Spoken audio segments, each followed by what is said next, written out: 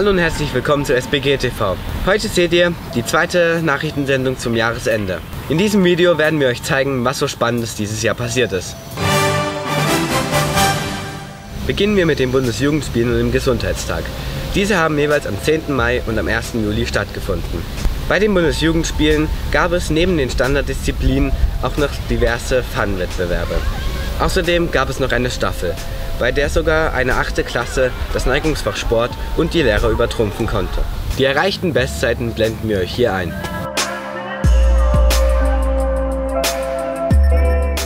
Ein Chapeau an alle Sieger. Dieses Jahr veranstaltete unsere Schule erstmalig einen Gesundheitstag, bei dem es viele tolle Projekte gab. Hier ein paar Eindrücke davon.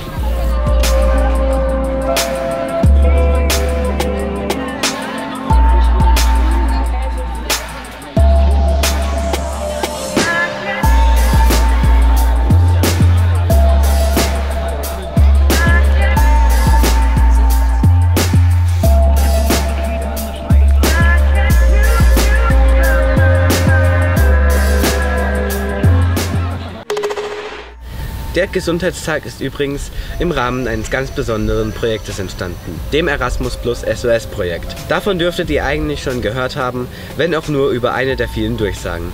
Ansonsten haben wir darüber auch schon ausführlicher berichtet. Zu dem Video kommt ihr hier oder ihr klickt einfach da oben auf die Infocard. Auch in diesem Jahr gab es wieder ein Sommerkonzert.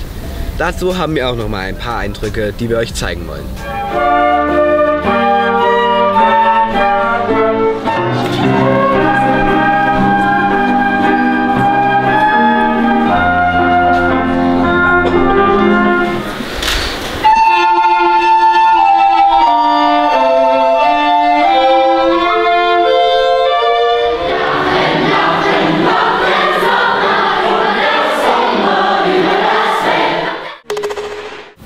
Jetzt gibt es noch diverse Infos für euch. Am 27. Juli, dem letzten Schultag, findet wie üblich ein Gottesdienst statt.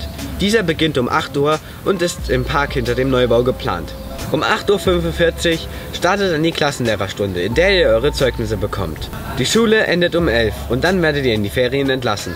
Schulstart ist dann am Montag, den 12. September, zur zweiten Stunde. Die kommende K1 trifft sich aber erst zur dritten Stunde mit den Tutoren. Die kommenden Fünftklässler werden dann am Dienstag, den 13. September um 16 Uhr eingeschult.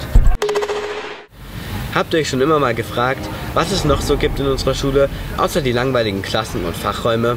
Dann ist unser aktuelles Projekt genau das Richtige für euch. Zwei SBGTV-Teams erkunden gerade alle verborgenen und vergessenen Orte dieser Schule. Zu dem Video gelangt ihr, wenn ihr hier hinklickt oder wie gehabt auf die Infocard. Das war es dann auch schon für dieses Jahr, denn wir gehen nämlich auch in die Sommerpause. Wir wünschen euch noch alles Gute und hoffen, dass wir euch nächstes Schuljahr wiedersehen.